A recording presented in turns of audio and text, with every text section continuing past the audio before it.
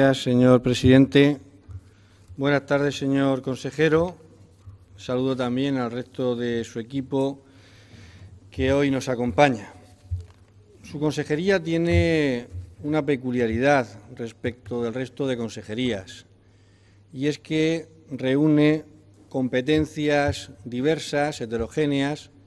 que no tienen relación entre sí. Quizá con un poco de imaginación podría buscarse algún tipo de conexión, pero en principio no tienen conexión, lo cual hace que la coherencia en el gobierno de tan, heterogéneo de tan heterogéneos ámbitos sea realmente complicado. Hay en cualquier caso un proyecto interesante que no hace mucho debatimos aquí en, la, en esta Cámara, que quizá si ampliásemos eh, el ámbito de acción de dicho proyecto podría tener cierta utilidad. Me estoy refiriendo al proyecto LINCE. El proyecto LINCE quizá si consiguiésemos introducirlo en San Esteban y en el resto de consejerías, podríamos hacer un gran servicio a esta, a esta región, que tan falta está de inteligencia en la cosa del gobernar, para que no sigamos gobernando como intentó hacerlo Sancho Panza en la ínsula de Barataria, que bastante escaldado salió de aquella experiencia.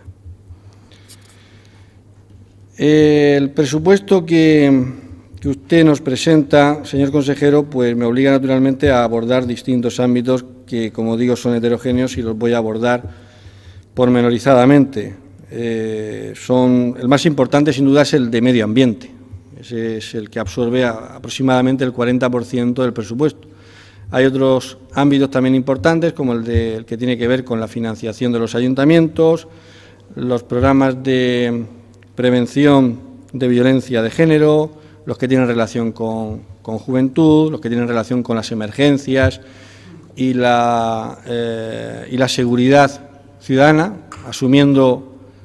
sorprendentemente en momentos de crisis una competencia impropia y que tiene sin duda alguna pues un coste económico importante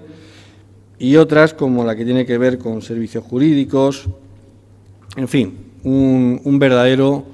un verdadero cajón de sastre y usted como sastre zurciendo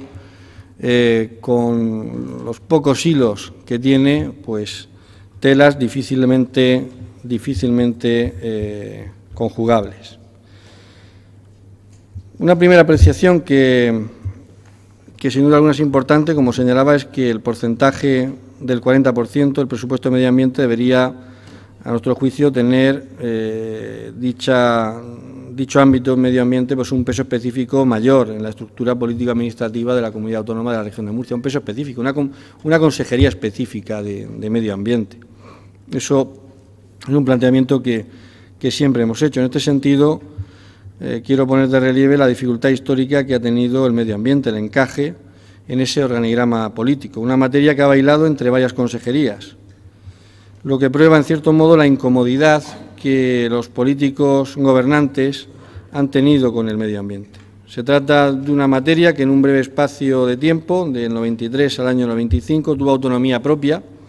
y que después ha venido supeditándose a otros órdenes políticos que la Administración entendió de mayor interés, ya sea ordenación del territorio, obras públicas, agricultura, agua e industria. En la actualidad ni siquiera da título a ninguna consejería, lo que nos traslada a los primeros años de la política ambiental de la región de Murcia, donde la vieja Agencia Regional de Medio Ambiente fue un organismo que, como ahora, quedó adscrito a la Consejería de Presidencia. Hemos vuelto, hemos retornado a los tiempos pasados. En cualquier caso, ahondaré más adelante eh, en mi intervención sobre las políticas medioambientales.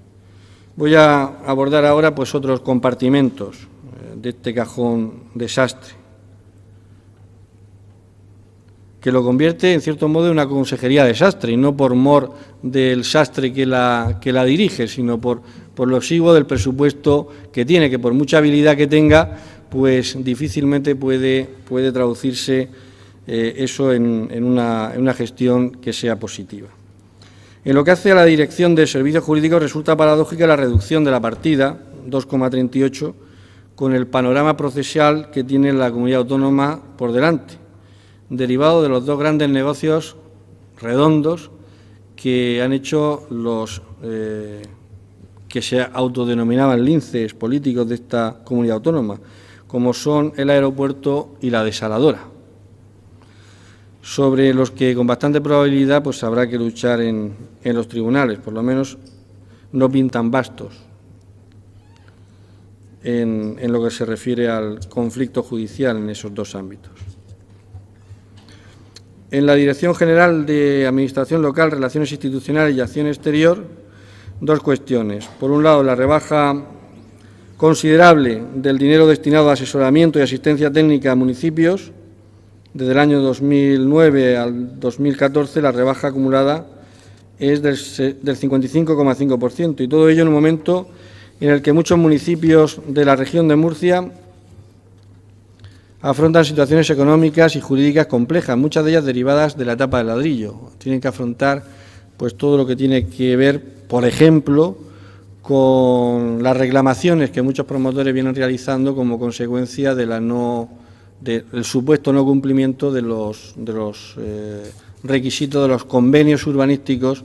que se han firmado a lo largo y ancho de la región de Murcia. Y bueno, lo más significativo es el presupuesto de la Dirección General de Administración Local, que confirma sin duda alguna la sentencia a muerte definitiva de los planes de cooperación local, que si ya el año pasado quedaron reducidos a la mínima expresión, 6.000 euros, este año pues, pues, se entendía que, en fin, que con 6.000 euros pues todavía se podía recortar aún más. Entonces, pues no, 3.000 euros. Dejamos en lugar de 6.000 euros, que ya es una cantidad ridícula, sobre todo si tenemos en cuenta que en el año 2009 la cantidad global que había era de 84,6 millones de euros. Pues nada, vamos a reducirlo y lo dejamos en, en total en, en 3.000 euros. En el año 2009, en los planes de cooperación local, estrictamente los planes de cooperación local,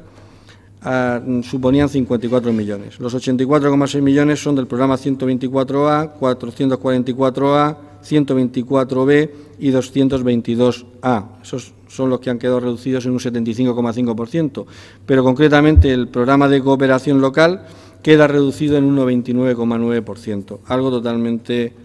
eh, incomprensible. La primera conclusión que se desprende de estos números es que el Gobierno regional presenta eh, unos presupuestos eh, en los que la financiación local, que constitucionalmente le corresponde, se lo recuerdo, señor consejero, se queda sin duda alguna bajo mínimos. Sí que se mantiene lo que hace referencia a la aportación a seguridad ciudadana, 18,8 millones, en un acuerdo, y además se planteó en aquel contexto en el que usted todavía era diputado de esta Cámara y recuerdo que se aspiraba entonces a tener nuestros propios mozos de escuadra, entonces aspiraba a tener las competencias en materia de justicia, no sé si lo recuerdan sus señorías, y las competencias en materia de, policía, una policía autonómica, una especie de mozos de escuadra para la región de Murcia. Y así se, se crea este, este embrión, asumiendo una competencia impropia. Yo creo que quien tiene que financiar la seguridad ciudadana, quien debe de financiarla es el Estado, que para eso tiene recursos, y más para una comunidad autónoma que está infrafinanciada desde el punto de vista del sistema de financiación autonómica y, sin embargo, tenemos que asumir un coste que eh, impropio que debería, en todo caso, ser asumido por el propio, por el propio Estado.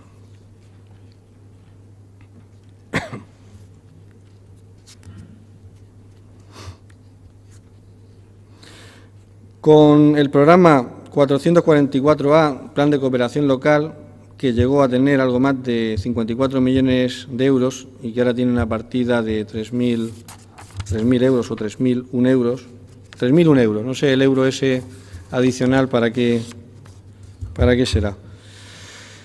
Se financiaban tanto los planes de obras y servicios de los ayuntamientos menores de 50.000 habitantes que incluían obras derivadas de la encuesta de infraestructuras y equipamientos locales, instrumento objetivo básico de análisis y valoración de las necesidades de dotaciones locales, determinado por el Estado en el Real Decreto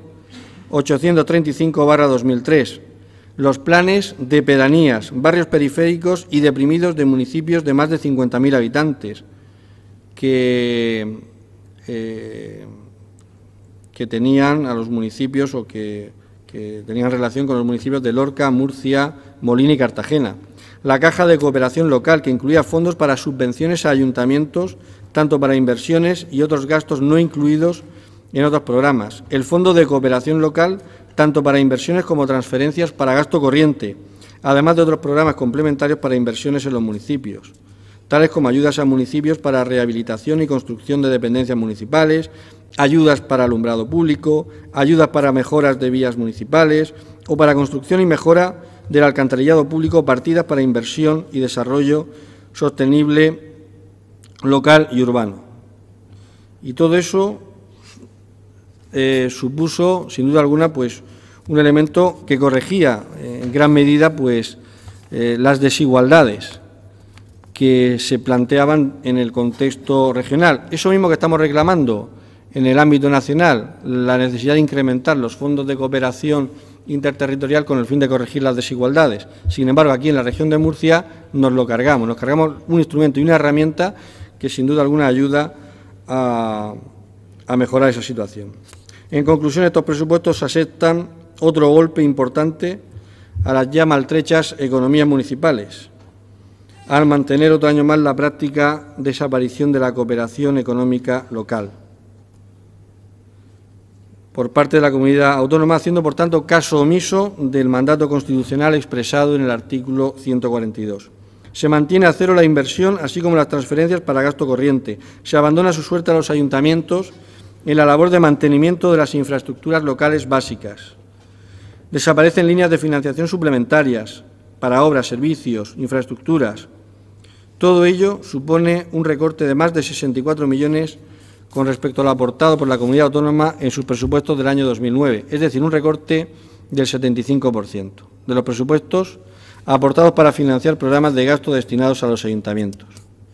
De esta forma se está asestando un duro golpe a las infraestructuras locales cuyo mantenimiento compete tanto al Estado como a la comunidad autónoma, a través del sistema de cooperación económica con entidades locales para superar las desigualdades sociales. Ese sistema de cooperación económica queda totalmente liquidado, ya se liquidó el año pasado y se mantiene. Por tanto, se consagra por cuarto año consecutivo la sequía casi total de la financiación local para la comunidad autónoma, prácticamente total desde el año 2012, señor consejero. El último plan de obras y servicios es del año 2011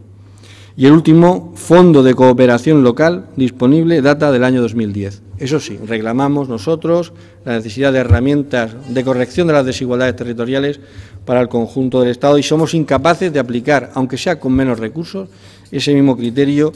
para con nuestro propio territorio, para con la propia región de Murcia.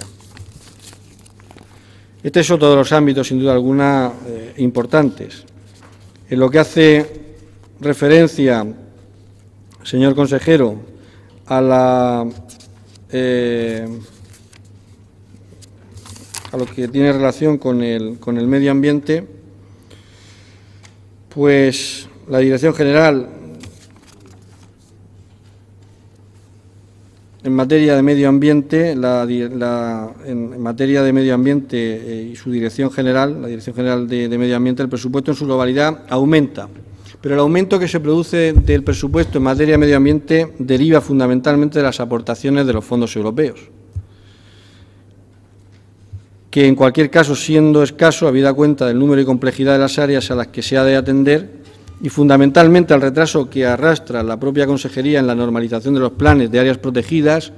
del desarrollo de sus compromisos sobre diversidad, de gestión y protección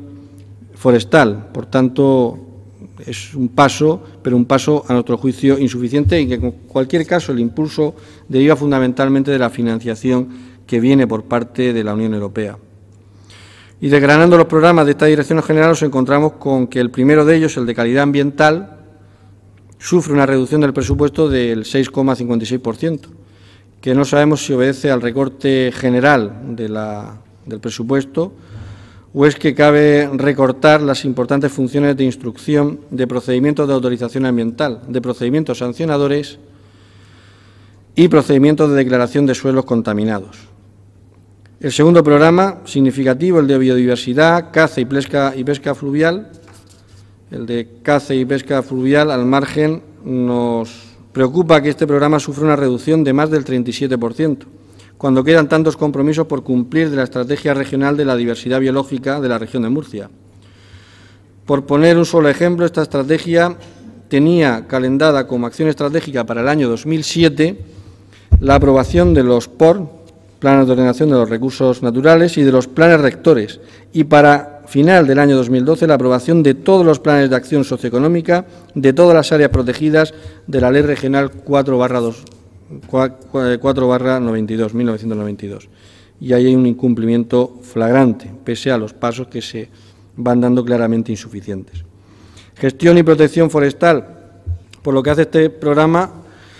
aplaudimos el aumento de la consignación presupuestaria, pero en cualquier caso echamos de menos, como en el caso anterior, la falta de compromisos para hacer efectivo parte de los mandatos de la estrategia forestal de la región de Murcia. Y siguiendo con este programa, nos llama particularmente la atención que para la conservación y gestión de la red de espacios protegidos sea consignado solamente un euro por el bien de, estos espacios, mm, creo que sería pertinente pues, una reconsideración con respecto a, a, esta parte del programa, que no se fije solo en la gestión y protección, sino también en la conservación y gestión de la red, y ese euro pues, nos parece, sin duda alguna, totalmente ridículo.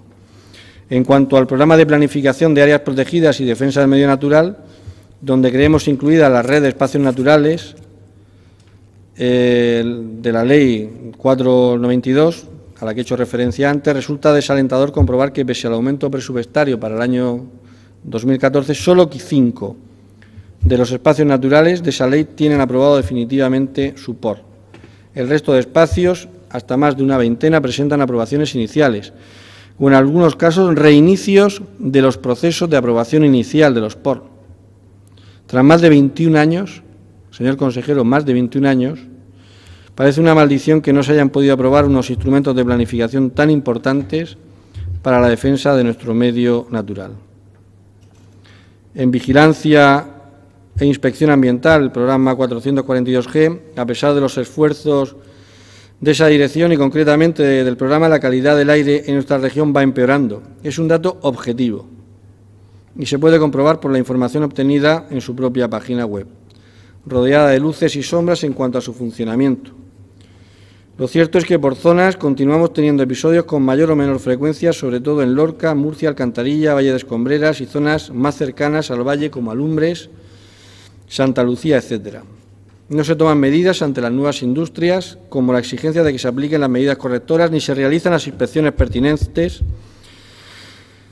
eh, eso es evidente porque falta personal. Esta dirección general es una de las que ha sufrido un mayor recorte de personal. Los planes preventivos y las evaluaciones brillan por su ausencia, no digamos ya el inicio de procesos sancionadores. Continuamos esperando todavía un plan de choque contra la contaminación atmosférica y este año, o para este año, esperamos el famoso plan aire, esperemos que se concrete y que esté suficientemente dotado. El proyecto de gestión de residuos es totalmente lógico, que incremente su presupuesto debido a la pésima gestión regional que nos ha traído algún que otro contratiempo en esta, materia. Nos preocupa, y así quiero plasmarlo, los 900.000 euros dedicados a estudios y trabajos de planes de gestión de residuos. ¿Quién va a realizar esos estudios, señor consejero? Y asimismo nos preocupa la referencia al estudio de las diferentes formas de valorización energética habida cuenta de que se ha apostado en los últimos años por una valorización absolutamente nociva para el medio ambiente y particularmente para la salud pública. Bajo la denominación de valorización energética,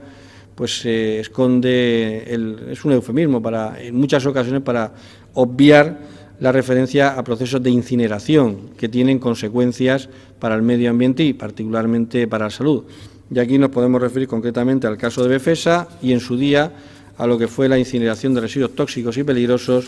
en el ayuntamiento, en el municipio de Lorca, con la empresa, con la empresa Holcim. Y eso, pues sin duda alguna, nos preocupa.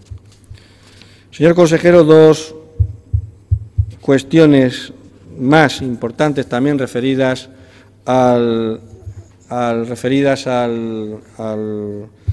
eh, propio, a la propia memoria, una referida a violencia de género y otra referida a materia de juventud. En materia de violencia de género, pues tenemos el dato. En los últimos, eh, en los últimos años, desde el año 2006 hasta el año 2013, hasta septiembre, tenemos eh, pues un total de 694, del año, perdón, 2003, 600, en los 10 últimos años, 694 mujeres eh, asesinadas como consecuencia de la violencia